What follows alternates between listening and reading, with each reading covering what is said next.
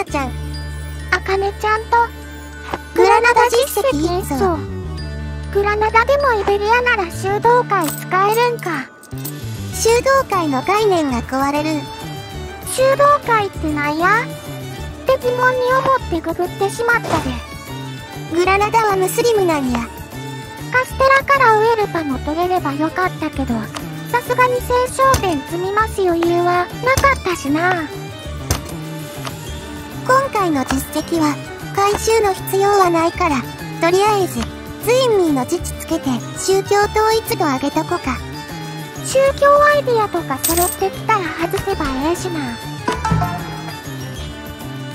オスマン先生の疲れが癒えたら来てくれるかも。1462年1月8日、アラゴンに宣戦布告や。オスマン先生がいるから、全滅しないように、兵はモロッコに逃げときましょうね。2年半で敵兵は全滅や。アラゴン北部はカタルーニャに取ってもらおうかな。アラゴンとゴプロビ活動と戦争賠償金490でカット支払いで講和や。領地が連結してないのが辛い。次のカステラ戦で取るしかないな。アラゴンはイタリア領があるから、オスマン先生来てくれたけど、カステラは来てくれるかな？カステラの停戦開けて、アラゴンのハエナしとるみたいやけど、これはちょっといけないな。チュニスは、そもそもフェザーンと戦争中やしな。あ、オスマンの否定要因が戦争疲弊だけになっとる。チュニスはやたら呼び出してくるな。あ、先生来てくれるって。勝ったなガハハ。1467年4月19日、カスティーレに宣戦布告や。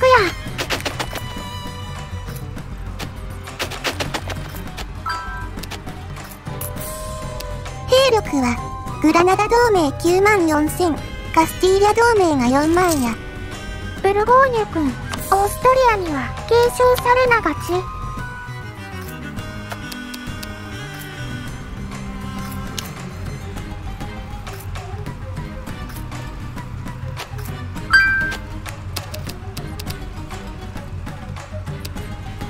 ポルトガルと戦争賠償金と210がカット支払いで講和や。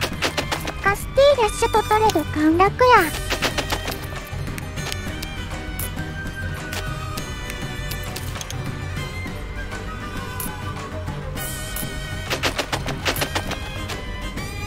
もうカステラくんは瀕死よ。あとは色塗りだけなのでカットや。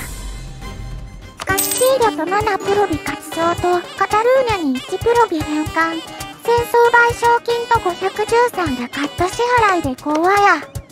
初動でポルトガル、アラゴン、カスティーレをボコボコにできたから、あとはダイジェストでええな。変な同盟がつかなければ、あとは消化試合やしな。オスマン先生のおかげやで。カスティーリャ攻め用にレオンを属国解放や。レコンキスタなんやから、再生復コア欲しいよ。もうセビリアで48%もシェアあるな。交易でウハウハや。1471年8月27日。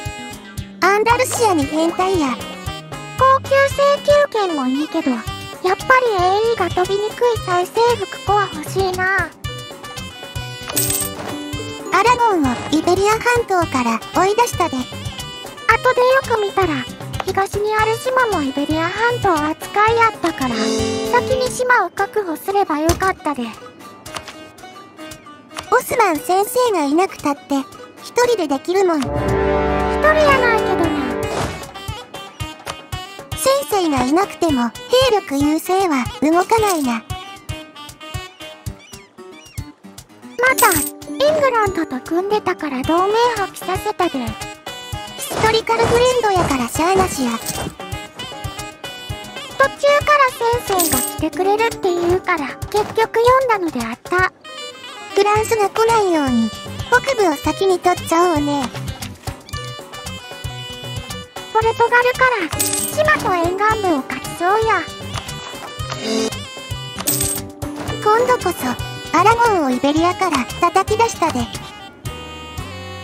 この前ポルトガルの首都取ったらもう新大陸に領地取ってて首都が遠くへ行ってしまったからカステラ戦で回収や。カステラ君は3回目で内陸国に。停戦明けまで暇やったからアラゴンを属国化したでシチリアにまだコア持っとるからなナポリが両シチリアになってるの珍しいなイタリアに共闘を作ったでメッシーナがオスマン先生に占領されて活動させなかったから通行しにくいのが不便やけどなカステラ君4回目。ギリギリっぽいからもう少し欲張ればよかったかな。両シチリアを属国化なんで自分で取らないで属国化したのか覚えてないけん。イベリアを追い出されたポルトガル君はハイチになってた。ポルトガルやめてハイチになるメリットなんかあるんかねやっぱりあと1プロビ取れなかった。くっそ1561年12月13日。カスティーリャ滅亡で実績達成や。やっぱオスマン先生と組めると楽勝やな。グラナダといえば昔は海外で力をつける作戦とかもあったけどそんなに苦労しなかったな。フェーバーとかも貯めやすいし昔より簡単になってるのかもな。ナショナルアイディアとかミッションも汎用は減ってきたしな。その後植民したりイングランド攻めたりしたけど。別にこの続きなら最初からスペインでやればよくね。手冷めたので終了しました。スペインなら100年近く早くこの状態になるだろうしなむしろフランスとかオーストリアがロー君になってる可能性すらあるしな。今回は短いけどここまでにしようと思います。次回はネーデルラントとかやってみようかなと思ってます。意外と昔の実績でやってないのも結構あるんやな。その辺の古くてやってないのも少しずつ回収していきたいところやな。それじゃまた新シリーズが上がりましたら見てくれると嬉しいです。バイバイ。